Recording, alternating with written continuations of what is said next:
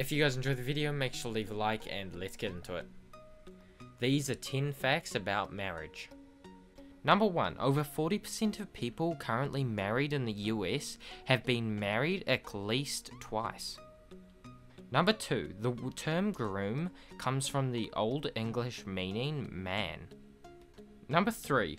Washington DC has the lowest marriage rate in the US.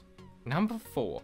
The number of marriage therapists in the US increased by 50 fold between 1970 and 1990. Number 5. The cost of an average wedding is $20,000. Number 6. In the US, there are about 100 divorces every hour. Number 7. The tradition of exchanging wedding rings goes back to ancient Egyptian times. Number 8. The longest recorded marriage lasted 91 years and 12 days. Number 9. Gamophobia is the fear of getting married or being in a relationship. Number 10. Italy has one of the lowest divorce rates in the world.